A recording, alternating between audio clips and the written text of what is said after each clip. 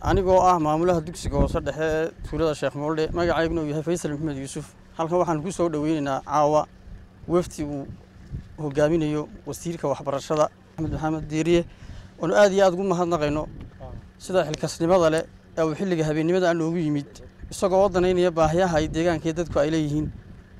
Waftiga aad baan ugu mahadnaqaynaa iyo wasiirka. Waxaan leenahay wasiir soo dhowaada waa tuuladiinnii waa degmadiinnii waa waddankiinnii soo dhowaada inaanu la shaqayno diyaar baanu nahay. Haddii aan ka warbixiyo dugsigan hoose dhexe ee sheekh mooldhe horta dhisma ahaan waxa uu ka kooban yahay laba qoloo keliya. Ardaydana fasalka toddobaad ayaa marka ay maraysa ayaanu bedelaayo si fasalka sideed shahaadiga ay ugu qaataan dugsiyada kale magaalada ama hargeysa baahidiisa iskuulka waqba aad iyo aad ayay u badan tahay. Wax macalimiin oo gunaysan ma laha anigaa maamulaha ah mooyaane.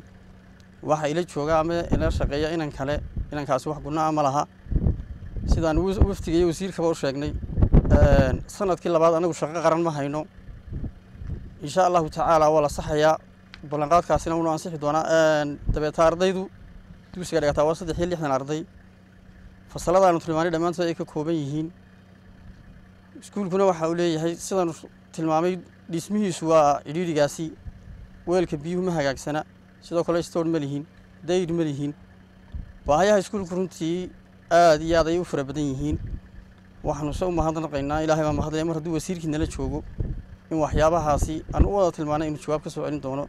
Waxaan halkan ku soo dhaweynaa anigoo ah guddoomiyaha tuulada shaqmoodhe wasiirka waxbarashada oo wakhti habeennimo ah xilkasnimo iyo dadaal uu shaqadiisa gudanayo nagu soo maray. Xaqiiqatan haddaan nahay deegaanka shaqmoodhe dugsigan waxaa nooloo dhisay labada kun iyo kowdii dugsigaas wuxuu ka kooban yahay laba fasal. Ardaydii dhiganaysay cidhiidhi awgeed fasal baanu kala jarray dhexdaanu ka kala jarray. Sabuurad baanu u samayn. Si ay bal gelinka hore saddex fasal u galaan. Gelinka dambena intii geli karta ay geli karto. Sacaadata alxamdulillahi rabbilcaalamiin caawa hadduu ilaahay ku keenay. Sheekh moodhe baahidiisu waxaa ka sii qurux badnayd waxa indhakooyaan bay waxilka indhaarkaan bay ilka gooyaan baa la yidhahdo nala arka weliba oy maalinimo tahay baanu ka jeclayn iminkana se laakiin wixii aad maalinimo indhaha ku arki lahayd uurkaanu kaa firana waad arkaysaan oo goor habeennimo ah ayaa la socdaa oo wafdiga wasiirka wasaaradda waxbarashada uu hogaaminaya u socdaa. Wuxuu hore loo sameeyey dhammaan degsiimooyinka dalka oo dhan inta goobo waxbarasho leh iyo intaan lahayn. Waxa uu muddoba wafdigan wasiirka uu hogaaminaya ay gaalaa bixinayeen oo ay socdaal ku marayeen dhammaan waxa weeyaan bal xaaladaha ay ku sugan yihiin goobaha waxbarashada ee hore u jiray iyo qiimeyn lagu sameynayey degsiimooyinka aan lahayn goobo waxbarasho aan lahayn. Inta dada ku dhaqan iyo sidii maxaan ku dhahay hawshoodaasi loogu samayn lahaa iskuulo cusub loogu samayn lahaa min cidhifka somalilan ee ugu kooneeya ee geestiir ilaa saylac lowyacdo dee ma tirin karno jiidda galbeed oo dhan ayaa maxaan ku dhahayey la soo maray oo ay ugu dambeysay oo la soo dhagax dhigay dugsiga maxaan ku dhahayey deegaanka awbare gobollada bariga qaarkood baa iyagana hore loo soo maray.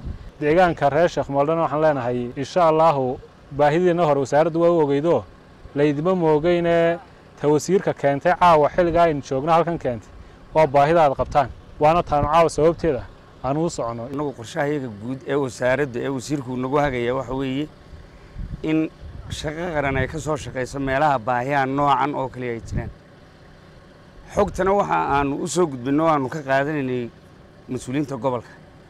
Baahiyihii ay noo keeneen iyo siday u kala darraayeen baananu anugu ku qaybinay hase ahaatee duruuftan oo aad u adag waxaad u baahan tihiin bal horta inaan inta wax kale la helayo in shaqo joojin dhig joojin laydin sameeyo oo haddii ilaahay idhaahdo marka iminka iskuullada lagu soo noqonayo ugu yaraan laba macallin oo shaqo qarana.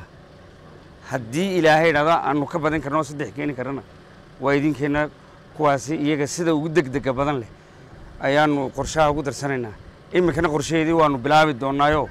Ciddii lagu qoraya markaanu iminka ku noqonno maamulkana waanu yeedhan doonaa gobolka. Sidaas iyaga taa waa u keeni doonaa. Ta kale shaqaalaysiintana waa ka howlgeli doonaa annaga iyo wasiirka iyo waa isku wada noqon doonaayo. Dadka baahiyaha gaarka ah ee duruuftaasi hayso ayaanu ku xisaabtami doona sanadkan haddii ilaahay dhaa qorshaha koowaad iskuullada leh ayaa ka mid noqon doontaa tiiman baanu dirnay xogtaa soo ururiyey. Ha u qaadanina inaanan xogtaa haynin. Halkanba waxa saacaddanna socodsiiyey. Baahidaa qoran ee la soo qoray ee ahayd sheekh moodle inay arday fasalka koowaad ilaa toddobaadi dhigtaan. Hal macalina ay haystaan. Deegaamo badan oo bilaa iskuulina ay ay hareeraha ka xigaan dad dhaqata beeralaya oo aan guurin oo kuwa meelaha tuulooyinka qura degan maahee laba tuulo kasta dhexdood dad baa intaa daadsan. Dadkaana wasaaradda waxbarashadu baa mas'uulkaa carruurtaa marka deegaanku laftigiisu waa inuu dadaalo carruurta keeno oo loo kala sameeyo saacado xoolaha iyo beeraha loo dira iyo iyo shaqada guriga iyo saacadda iskuulka la keeno. Marka iskuulkii wasaaraddu way dhistaa laakiin idinkana maxaa laydinka rabaa? Arday keena. Weliba dee hablaha iyo inamadaba keena iyo kuwa baahiyaha gaarkaa qaba alxamdulilaahi rabbilcaalamiin maanta marka waxaynu dhagax dhigaynaa. Dugsi boodhana hooy ah oo somalilan ilaa toban meelood baan isna ka hirgeliya galbeedkaanu qaar ka soo dhagax dhignay. Barigana iyo dhulkan dhexana qaar baanu geyn doonaa insha allahu laakiin mas'uuliyaddaasi si ay noo raacdo oo oo aanaanu intaanu qalin ugu qoran isaga tegin somalilan oo dhan markhaati uga noqoto iyo dadka adduunkuba ayaanu dhagax u dhiganaa. Hooyiga ee sheekh moodle hablaha iyo inamada ayaynu dhagax dhiganaa ilaahay dugsi khayr qaba inooga dhigo dugsigaasina deegaankan oo quri ma lehe somalilan oo dhan baa wada leh bismillah khayr baan idiin rajaynaya